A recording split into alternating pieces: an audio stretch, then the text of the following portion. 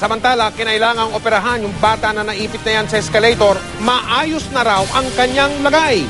Mula sa lungsod ng Caloocan, nakatutok, live, San Enrique, San Mike, matapos nga sumailalim sa operasyon kanina umaga ay ligtas na raw sa panganib ang pitong taong gulang na batang lalaking naipit sa escalator ng Pure Gold Caloocan City kagabi at ang operasyon ay tumagal nga kanina ng ah, mahigit tatlong oras.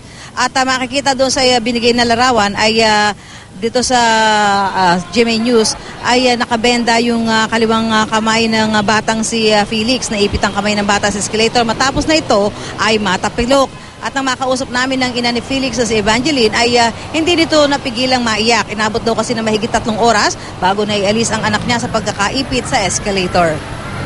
Nakita po ng hipa.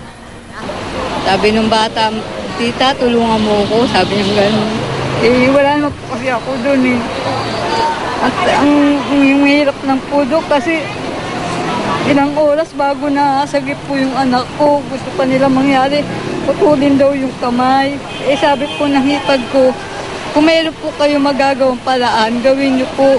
Huwag niyo po putulin. Paliwanag naman ng pamunuan ng Pure Gold, bahagyang natagalan daw ang pag-rescue sa, ba- pag-rescue sa bata dahil kailangan pang i-control ang pagpasok ng emergency team para mapadali ang pag-aalis sa bata. Sa katunayan nga daw, nagdesisyon po ang, ang management ng Pure Gold na sirain na lang. Sirain po para mapabilis ang proseso ng pagbaklas at nang mailigtas po ang buhay ng bata. hindi na raw kailangan putulin ang kamay o braso ni Felix pero kailangan pa itong obserbahan. Makain na po, wala na problema. Ay, kailangan pa po ba ng ano, susunod na operation or yun na yung operation? Opera Ano po, obs- ano kasi po may naputot na ugat. Obserbahan pa po kung halimbawang ano pa, baka po tumubo yung ano. Nangako naman ang Pure Gold na sasagutin ang gastusin sa pagpapagamot ng bata. Tiniyak din ng Pure Gold na sumusunod sa international standard ang kanilang escalator at ang nangyari ay isang isolated incident.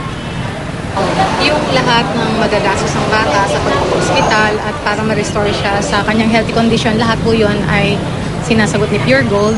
Ah, sinasagot din po ni Pure Gold ang pang-araw-araw na pangangailangan ng pamilya para hindi naman po maka-istorbo sa kanila ang pangyayaring ito. Ah, wala pong problema yung escalator. Ito po ay certified ng OTIS at ito po ay ginagamit ng hindi lamang ng Pure Gold kundi ng iba, iba maraming establishmento.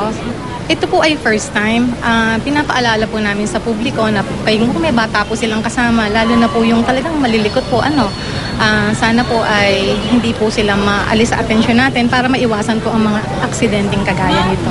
Sa ngayon ay uh, nananatili pa sa MCU Hospital ang bata matapos sumailalim sa operasyon kaninang umaga at ah, hindi pa masabi ng kanyang ah, magulang kung kailan ito ilalabas ng ospital. Mike? Maraming salamat Susan Enriquez.